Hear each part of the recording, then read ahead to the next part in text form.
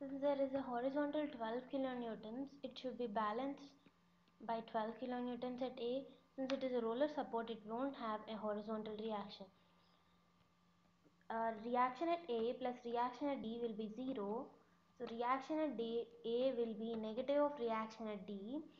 Since there is a clockwise moment of 12 into 4 kilonewton, there should be anti-clockwise moment that is 12 into 4 by span is 6 so it becomes 8 kilonewton and this is 8 kilonewton downward.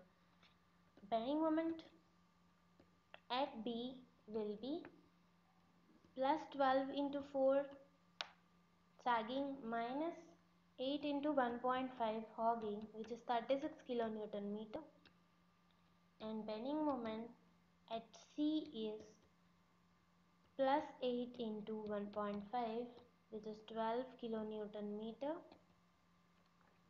Let us draw, draw the bending moment diagram.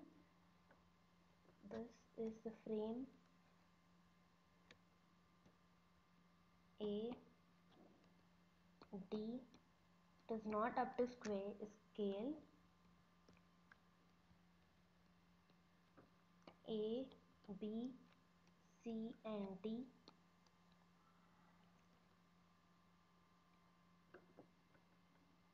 36 kilonewton.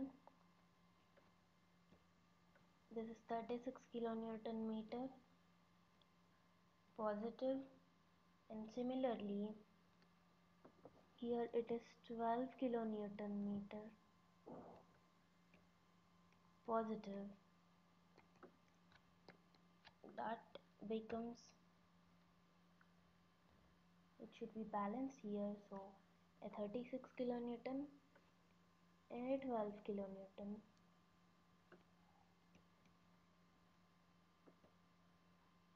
it is 12 kilonewton meter and here it is 36 kilonewton meter. And positive. This is a bending moment diagram